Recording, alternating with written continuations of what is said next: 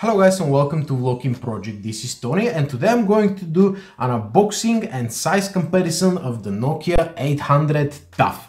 Why is this phone so important? Well, that's Nokia's first officially IP68 plus military grade spec phone, which means it's foolproof and it's supposed to survive everything. Um, I'm about to test the durability of this phone in my next video as I did with the 3310, which by the way survived my durability test, so stay tuned for that. In the meantime, this phone costs 110 pounds from launch. If you really need a rugged phone, go to Caterpillar. The B35 costs just 65 quid. In Vodafone are in the UK at the moment. But if you insist having a Nokia, look no further. This is the phone to go. Just a quick one. Rugged phones has been around for ages. The Siemens ME45 came out in 2001. Nokia's own 5140 came in 2003. The Siemens M65 came in 2004, I believe, and the Siemens M75 came in 2005. But those phones are pretty much very outdated. As you can see, their rubber parts have already perished, so they're not nearly as waterproof as they were back in the day. So if you rely on something waterproof, you need a new phone. So let me cut this sticker over here and let me take it out of the box and see what this phone is about, guys.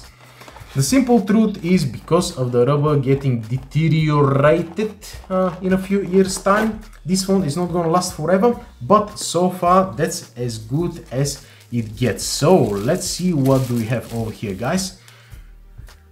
Right. Um, okay.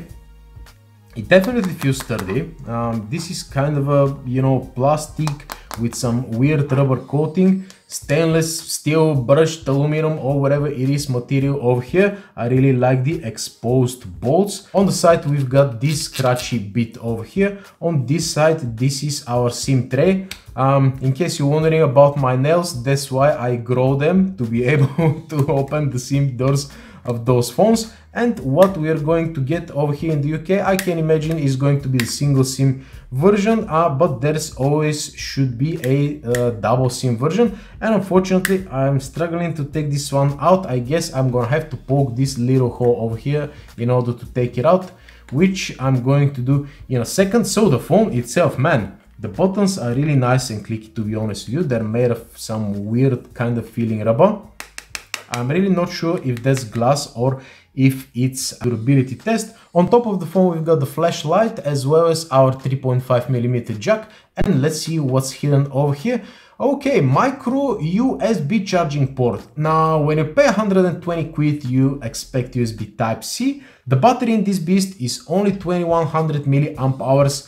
Uh, I have no idea how much is has to last, uh, 45 days or something like that. Let's see what it says on the box.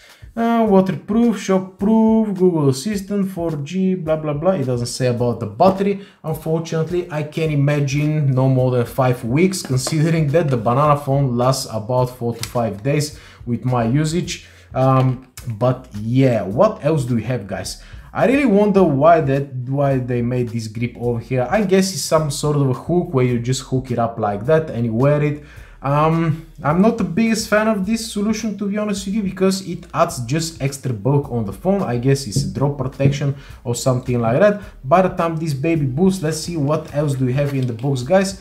The SIM ejection tool, right, I should have used that. Um, what else? USB cable, charger and pretty much that's it. I was about to say no case but uh, yeah you're not supposed to use the case on a rugged phone I can imagine. So let's see what do we have over here. No the sim tray was on the side.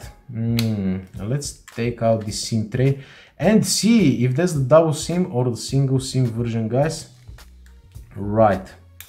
It's a little bit hard to take it out to be honest with you. I have totally no idea why they made it this hard but you can't really just pull it from here you have to have fingernails like mine.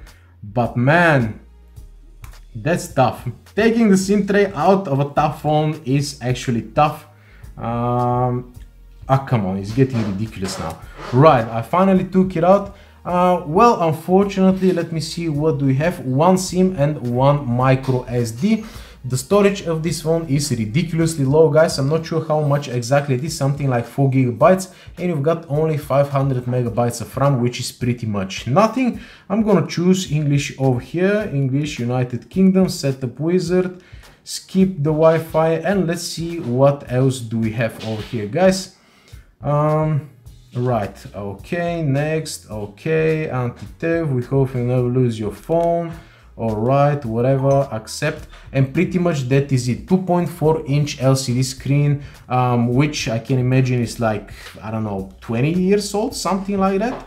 Um, really nice and simple menus over here but not much to be honest with you. Let's see what happens if we hold this one. It doesn't activate the torch. Anyway i'm going to talk about the phone's functions in my full review a little bit later on. But before that as i said i'm going to do a durability test but so far for that video that was it guys. Thank you very much for watching and stay tuned again for the review and the durability test of this beast over here. So yeah thank you very much for watching and see you in the next one